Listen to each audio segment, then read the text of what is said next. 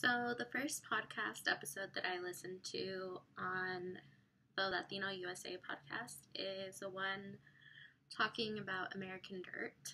Um, the podcast begins with an interview with um, Myriam Gurba, who is a Chicana writer, um, who was asked to write a review on American Dirt by Ms. Magazine.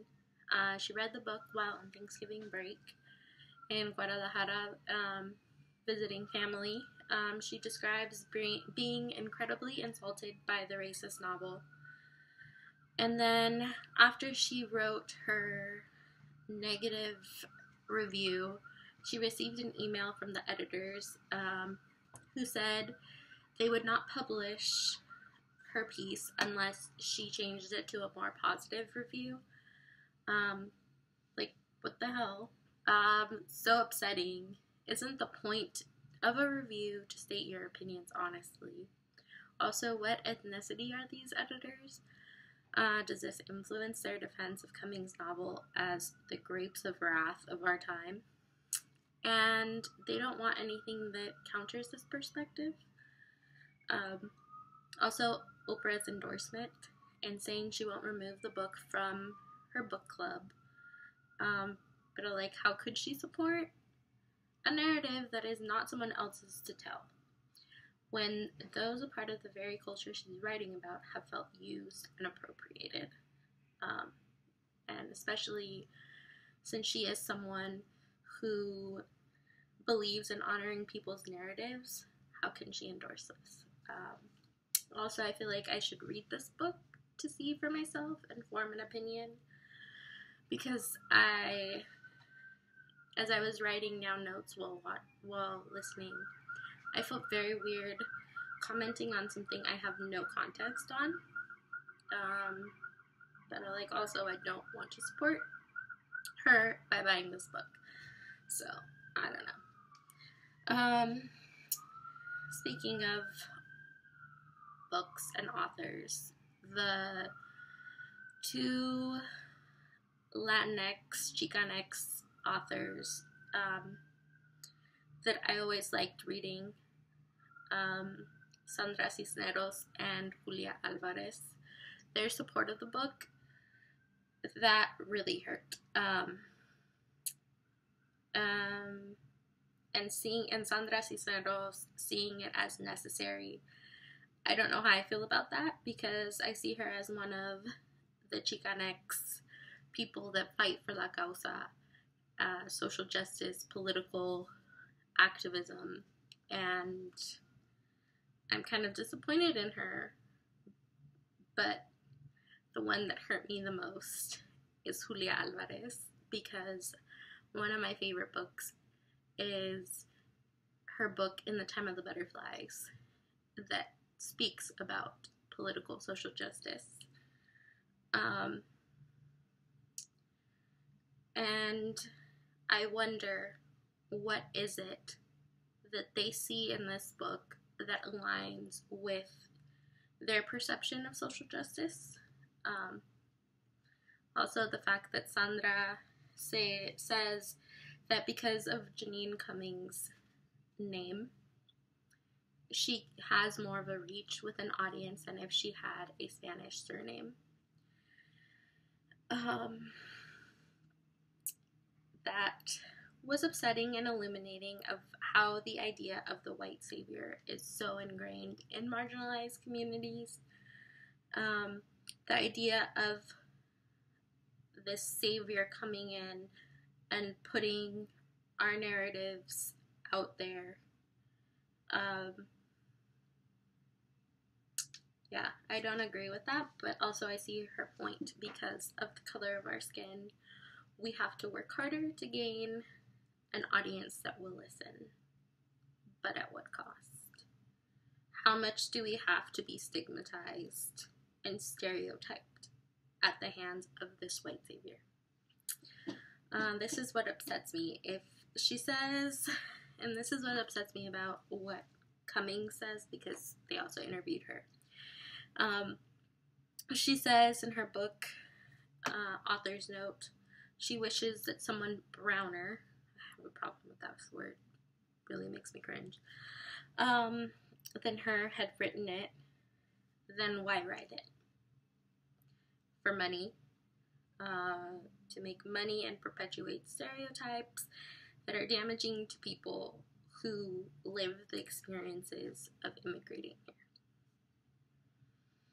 And the letter at the beginning of her book about giving a face to the faceless makes me cry when hearing how insulted Myriam was while reading it in the very culture it inaccurately depicts by playing into stereotypes. Um, so upsetting because stereotypes like these about narcos is one of the reasons people are afraid of visiting Mexico. I know, like, whenever my family and I would say, Oh, yeah, we're vacationing in Mexico, people are like so scared because they hear about how unsafe it is.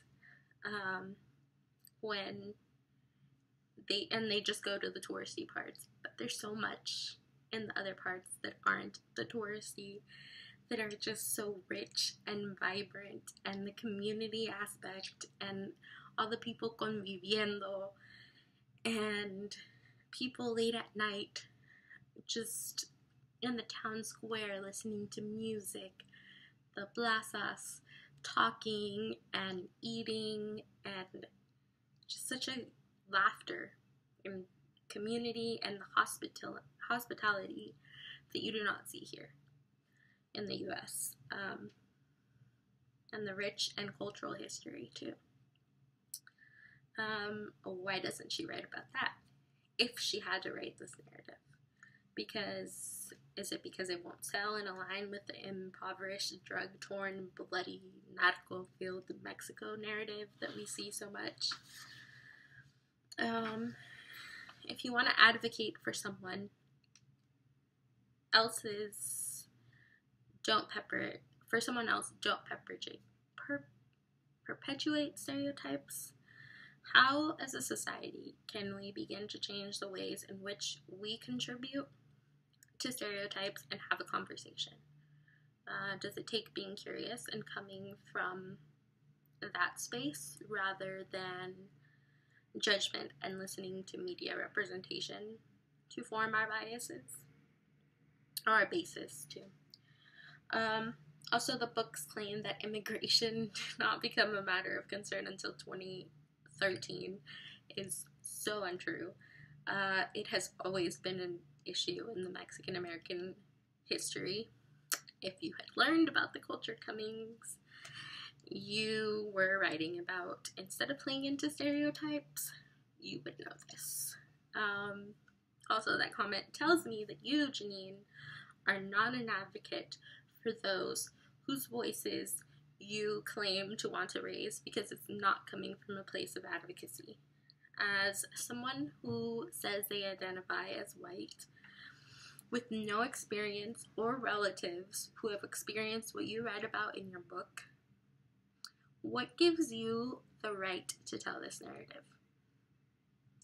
Um, you Cummins was also accused of taking the words from Luis Alberto Urrea's experiences in books, and this is sickening to me because this is a human experience that he lived. And to take that experience and dehumanize it is awful. And to have fellow writers and friends support that novel and endorse it, it must have been so invalidating for Luis, especially since it's hard road to be heard and taken seriously as a POC in the publishing community. I mean, it's crazy to me that only 3% of the publishing industry is comprised of Latinx writers how do we begin to change these numbers in like all aspects of careers? Because I'm sure there's other aspects that are just as alarming statistics. And how do we get seen and be taken seriously enough to get into this room? Um, I also find it very sad that my response when Luis is telling a story about his road to becoming a published author, he it took him 10 years to get the book that she stole words from published. That is crazy. Um, but he said that they told him to change his name because it's a long name and Latino name, no one's gonna care. Also, when they read when they rejected his story, one of the people said, "No one cares about Mexican kids," and my response to all of this was typical. So yeah, that's really sad that I do. I come to expect it. Also, tells me a lot about where my biases are. Um, then going back to when we heard from Jeanine, I was not amused at her not taking responsibility. Um, just own your actions, Jeanine. Um, her stating that she read and watched immigration stories for her research. Like, really? Reading and watching?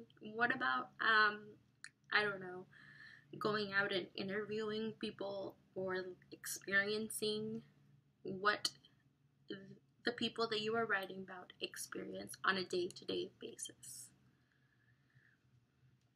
And then she's also, I want to know if she did that. And if she did, why didn't she include that more instead of playing into stereotypes?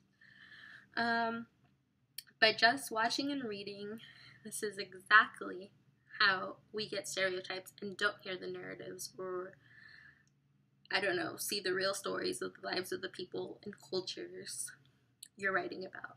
But then she says, without much thought, and there was my answer, she didn't think about the Latinx voices and narratives that she was writing about. Um, she says, I don't want to explain anyone else's trauma, but like you did and whether you are unaware of it or not, you need to take responsibility for your actions instead of playing la víctima. Um, when Maria asked you to clarify who the we was in your author's note, you couldn't give a straight answer.